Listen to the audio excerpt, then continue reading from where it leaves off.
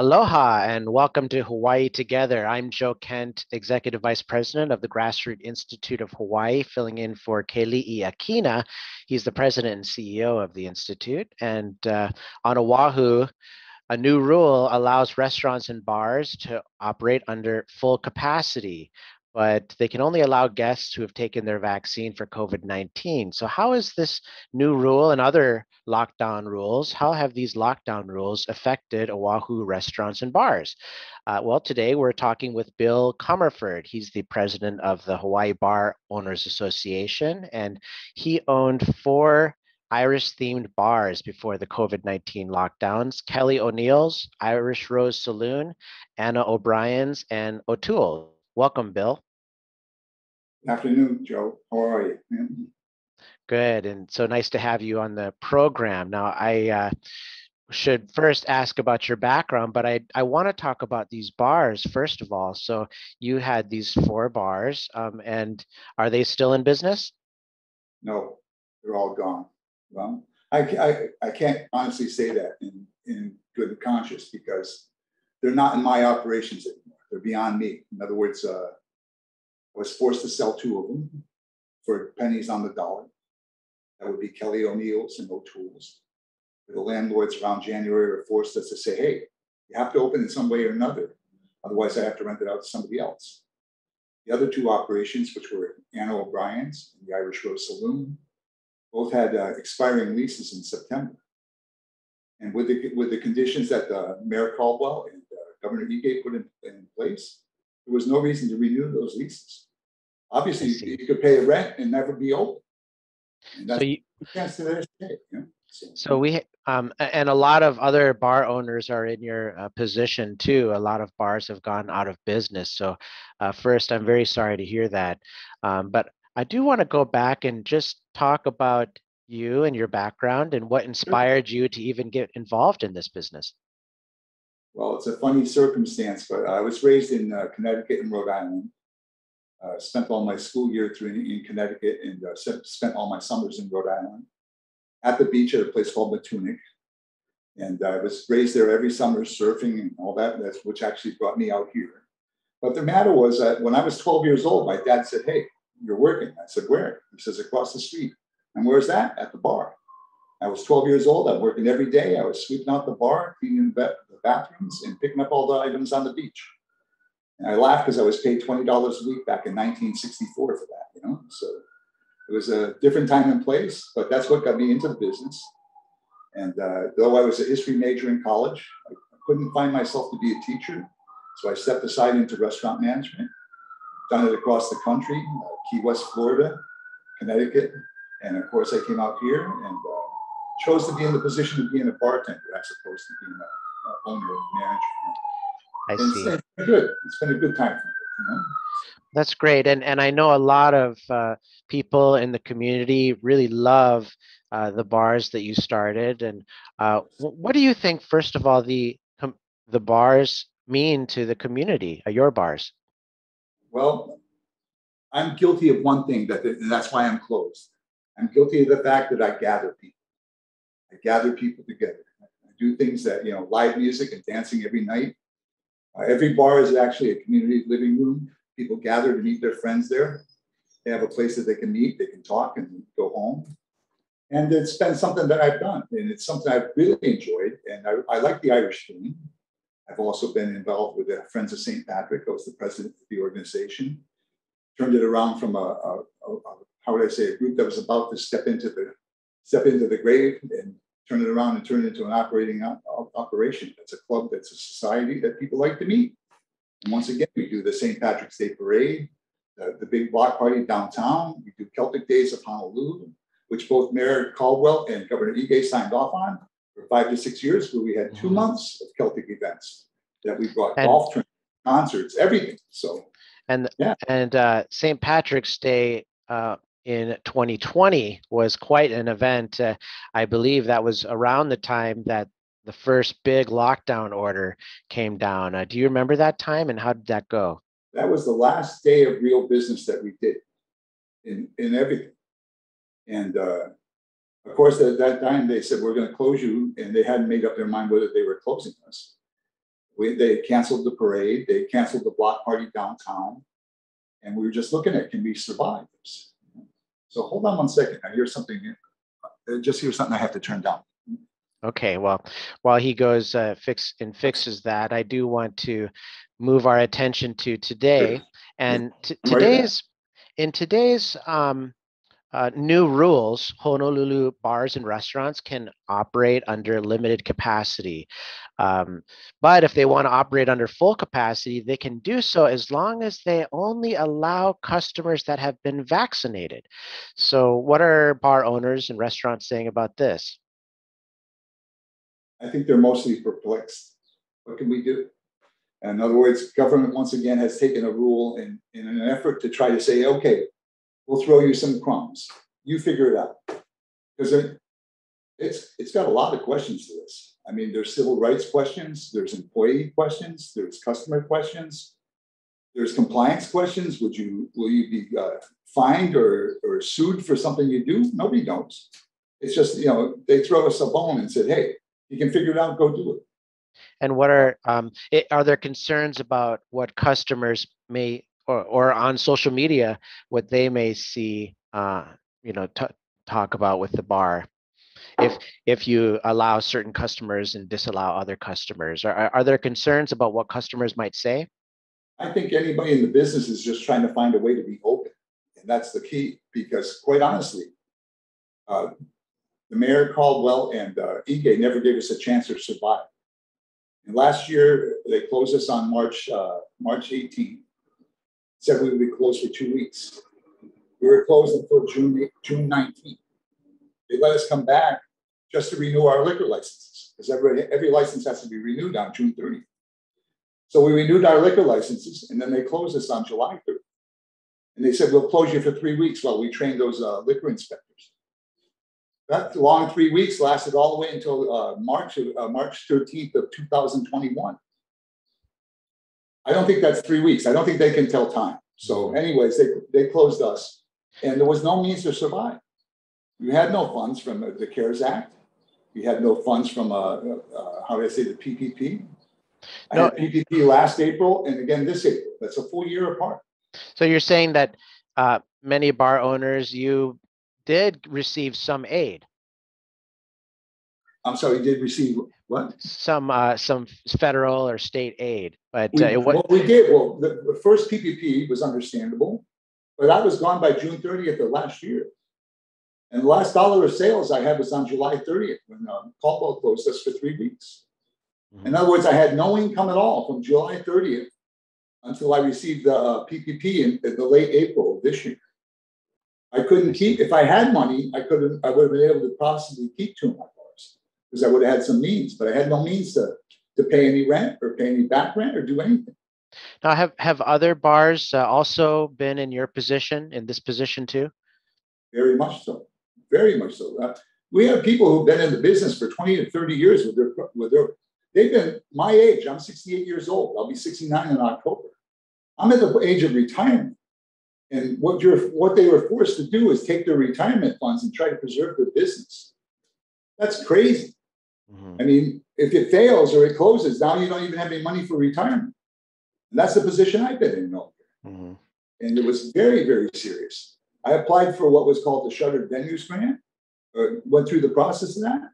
But if you applied for that, you could not get, you could not apply for the PPP at the same time. So you had no funding. And they extended it for, it was supposed to be early January. and It never got approved until sometime in May. And then they said, okay, in late April, late March, they said, well, you can apply for PPP now. Also, I had the CARES Act, I had some CARES Act money from the city and county, but the city and county had, I had the bad experience of saying, go pay your bills and we'll reimburse you. I only had hundred fifty thousand dollar E EIDL loan. And with that EIDL loan, I paid hundred thousand dollars in bills. And they decided to give me twenty thousand dollars for it. Hmm. I said, that's not what you said you'd do. You said you would reimburse our bills and you didn't. so So the I money was money out of them until, until after, uh, when they had the closure of the CARES Act. They gave So us some funds at that stage, you know? now the We- money was a, and they did a little bit uh, too little too late you might say Well, right here's the point, it was not income.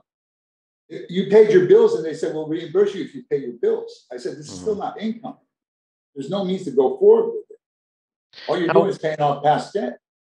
Now, did you see some, um, uh, let's say, unfairness or, uh, or unequal treatment between bars and other establishments during the lockdowns? Very much so. I mean, uh, Mayor Caldwell made up his rules as he went along. There's no such uh, rule or law in the, in the, in- how they say, in Honolulu uh, liquor law, or state liquor law, I should say, in Honolulu City and County rules for the Liquor Commission. He made them up as he went along. He called about nightclubs. There's no such thing as a nightclub in Hawaii. There's cabarets, different licensing. So he was going based on what people were saying on the mainland as opposed to what was happening here. And he never had a conversation with anybody in the, ins- in the industry to properly discuss it. He just made it up as he went along. And I had a food establishment permit. I had, uh, I had the passing grade for the blue, uh, green card that you have on the windows for all of my bars. And I, I opened up and sold hot dogs. He says, you can't do that. You have to sell thirty percent. Something he made up. Oh, I see. I see. So even though I could have served food, I was very much targeted by, by the mayor, you know, and he said, well, we're gonna get you out of here. And so they did, they closed us. And anybody that had no kitchen at that point was put to death. Your business is going down because you don't have a kitchen. you know? What about people who say, yes, but we need people to be safe and, and there are rules for uh, allowing restaurants and bars uh, to operate um, a- at least somewhat. Um, and eventually we'll get there, but we just need to wait it out. And what, what about these types of uh, thoughts? I think uh, if you take a look at it, and this was part of the conflict of what uh, Mayor Caldwell did was he, he decided what bars were. And right immediately, he had two or three different cases where bars that he decided were restaurants because they had a kitchen had COVID cases. So he called, now- now he started calling them a bar again, after he decided they were restaurants because they had kitchens. So it was his, once again, his determination. What happened with us is that we had a, I should say, an anonymous complaint against our bar and our neighbor next to us. Where a gentleman came in, would not get his uh, temperature taken, wouldn't wear a mask, wouldn't observe the six foot distancing, so we told him he had to leave. In doing so, apparently he made a complaint. Now, I've never seen the source of the complaint, never seen the see. complaint, even though I requested it. But I had uh, health inspectors, liquor inspectors, and police officers in my bar for two weeks straight. And all of them said, you guys are doing a great job. You're doing a better job than anybody else I see out there because you're What, what was the rationale? What was the rationale be, that um, bars had different rules than restaurants before? Um, was it just t- totally arbitrary, or was there at least some Well, theoretical there- There is, within the rules of the liquor commission, you can have a rep, you can have a general dispenser license. My bars are most, I have three bars that are general dispenser licenses. And they have the uh, ability to have, uh, uh, was it, live entertainment and dan- entertainment and dancing, okay? So you could have music and you could have live Okay. dancing. So it's still the same kind of license, it's a general dispenser license. You have general dispenser license that, uh, uh, say that you're gonna have at least thirty percent food and you're taxed on a different level on that basis. And on that basis, you would still have a general, general dispenser license. And it would be called a restaurant license, but you had to do thirty percent plus more in food. Or pay, or pay a penalty if you did less than that. So this I is see. something that the mayor kind of made up as he went along. I see. Mhm. Right? So it, has, it has some semblance of, of, of, how would I say? That you're looking at the rules and seeing something, but you're not reading the rules. You're just picking things out of the rules to make it your way. you know? Uh, what about also this this rule that restaurants, bars, and social establishments uh, are only allowed to serve alcohol before midnight, and they, and they can't serve it after midnight? The sort of alcohol curfew rule. Um, did that hurt your business too? Very much so. Because remember, it only went to midnight in, uh, what would we say, March thirteenth of this year, when Mayor, Mayor Blangiardi made that move. Prior to that, we were closed at ten o'clock. You'd only serve to ten o'clock. So let me give you an example. Kelly O'Neill's, right? Right now is open as much as they can possibly be. They're a four o'clock license, they're a cabaret license.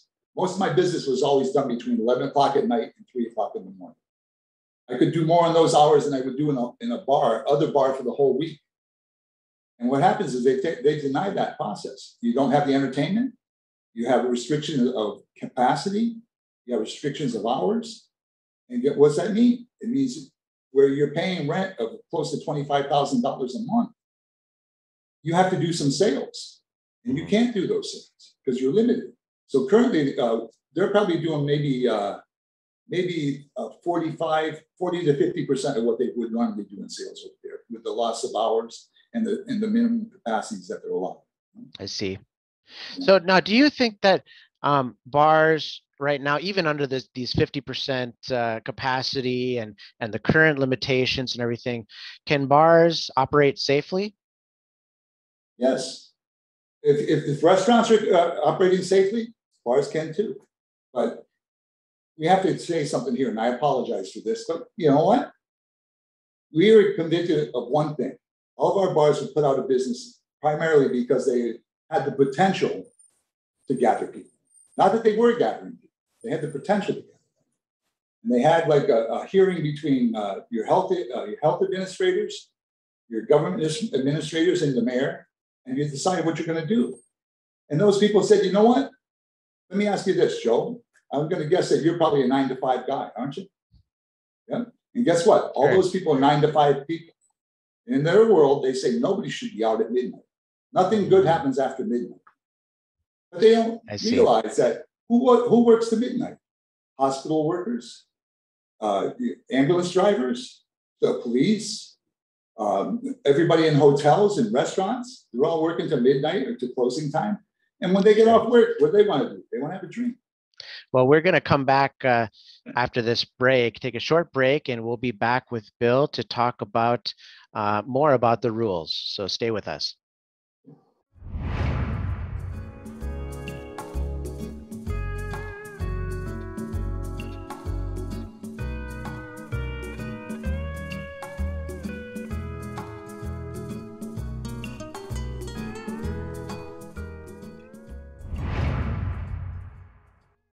Aloha, I'm Mitch Ewan, host of Hawaii, the State of Clean Energy on Think Tech Hawaii. Hawaii, the State of Clean Energy is about following the many clean energy initiatives in Hawaii. Hawaii, the State of Clean Energy, appears weekly on Think Tech Hawaii at 4 p.m. on Wednesdays. Thank you so much for watching our show. We'll see you then. Aloha.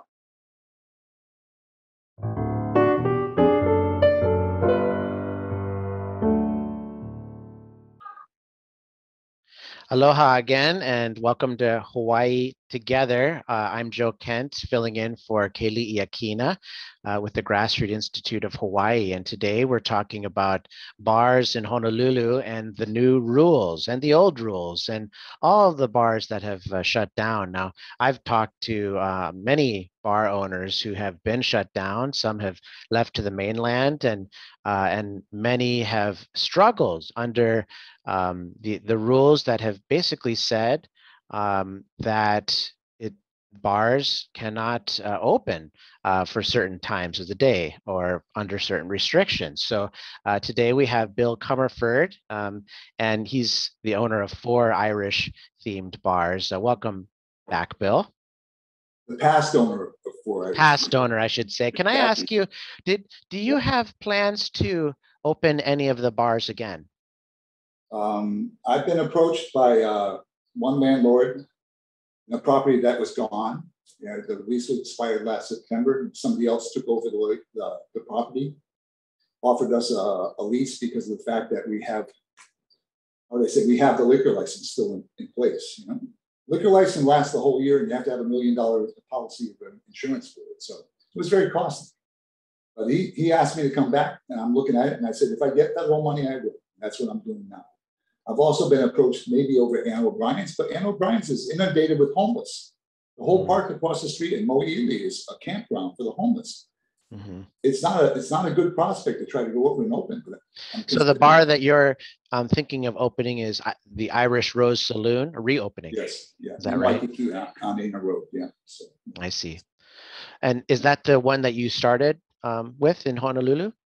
Well, we did. Uh, we started actually on Lewers Street, uh, four seven, uh, we had uh, 227 Lewers Street, is where we originally originated. and it was owned, it was owned by a, a land and Jim, And that's why we have, why we have a corporation known as E and J Operating Company. They were the, the principals in that organization, and uh, they retired around 1998, and that's when we took over. So that's I why we continued it. We actually uh, applied over at the uh, Island Colony. And that's how we formed the Hawaii Bar Owners Association because I was denied the license there, and actually uh, went forward to the uh, state supreme court and won. I Now, could what have do you- reopened the license, but it was not possible. What do you think about uh, your prospects for reopening? I mean, we've still we're still under um, many rules and um, still questions about whether we can reach a you know the, the right percentage of vaccines in Honolulu and Hawaii to to reopen everything. So, what is your prospects for the future? I very minimal. I would say uh, the prospects of being successful are virtually small because of the fact that I'm going to pay high rents. I can pay my, pay my employees if I can get them back. It's been a hard time trying to get employees back. I could pay my uh, I could pay my rents, which are going to be high for the landlord's sake, and I can pay my taxes for government that that has pretty much ignored us in this situation. I've been taxed very heavily and had zero representation. So coming back to all this, I said, why would I stay? And the only reason I'm going to stay is because I got a federal grant that I'm allowed to pay off my debt. So I'll, I'll pay off my debt and have very minimum, very little chance of going forward. The bars will not probably be in a very profitable position, but it'll give me the means to try to uh, pay off my past debt and try to move forward. And I had an interesting question upon receiving this. I asked uh, the head of the SBA in the region. I said, uh, "Can I take this debt? Can I take this grant with me to a place that's open?" And he said, "Yes, you can.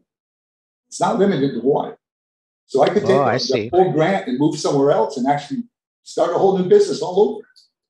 Do you find do that, do you find that other o- uh, bar owners are doing that?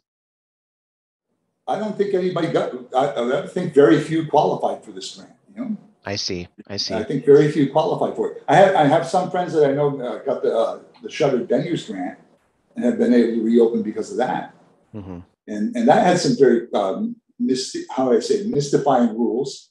I had live music every night in all my bars, but I didn't have a, uh, a cover charge all the time, so I didn't qualify. I didn't have uh, fixed seating like a theater or loge seat. So I didn't qualify for that. But it Well, kept e- me out of even if- money for a long time. even if we um, uh, move to tier, well, we are in tier five, but if we operate under the social establishment rules, um, let's let's say that um, lots of Mhm. people get vaccinated, and we, um, you know, bar owners, restaurants decide to check to see and only allow those guests that have been vaccinated and so on, so they can operate at full capacity.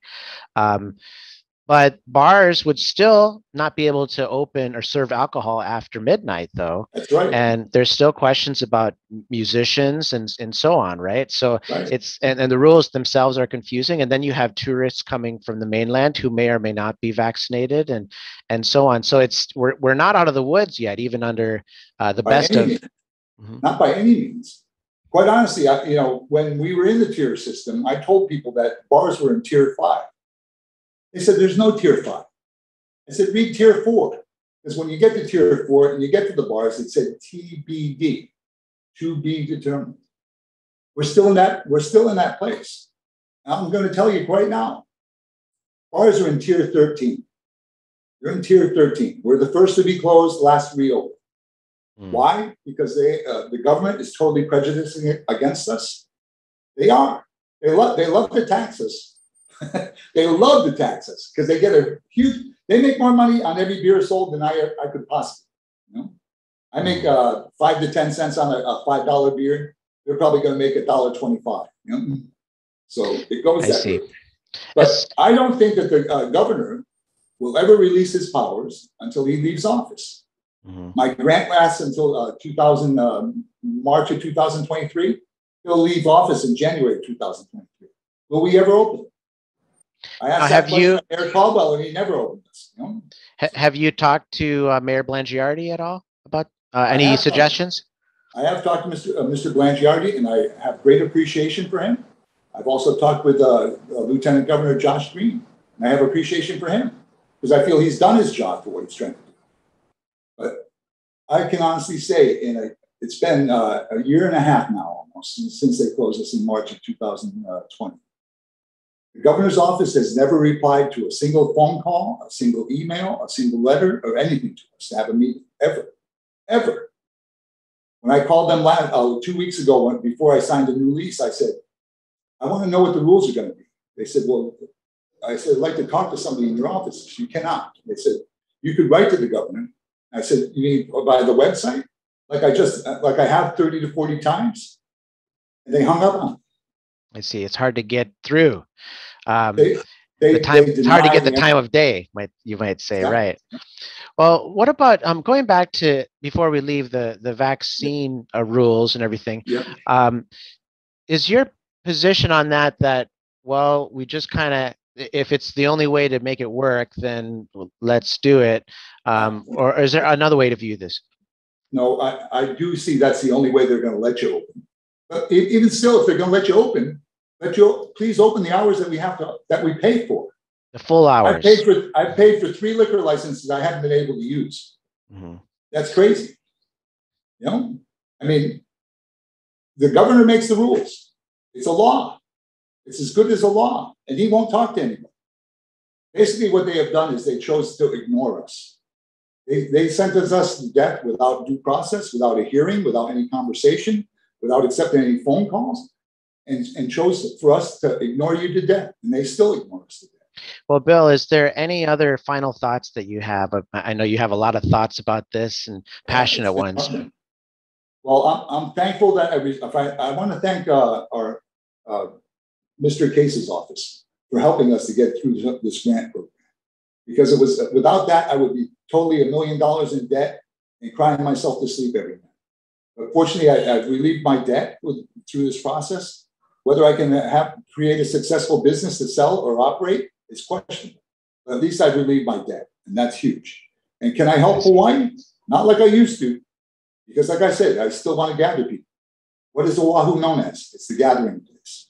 What did I do? I gathered people. And that's my that's I my see. my guilt, you know, apparently. you know. Well, thank you, Bill, for coming on the show and talking with us. And thank you for everything you're doing and best wishes for your future ventures. Uh, I know it's uh, very difficult, but uh, best wishes nonetheless. Um, and uh, thanks for tuning in to Hawaii Together on the Think Tech Hawaii Broadcasting Network. I'm Joe Kent, uh, signing off.